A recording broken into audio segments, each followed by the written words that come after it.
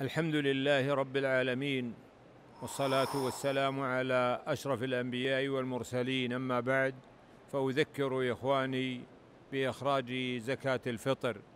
وزكاه الفطر متعلقة بغروب الشمس من آخر يوم من شهر رمضان ويجوز للإنسان أن يخرج زكاة الفطر قبل ذلكم الوقت باليوم واليومين.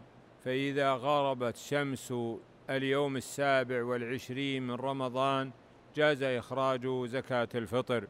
وكان النبي صلى الله عليه وسلم وأصحابه يخرجون زكاة الفطر من الطعام الموجود عندهم من الشعير والتمر والأقط والقمح.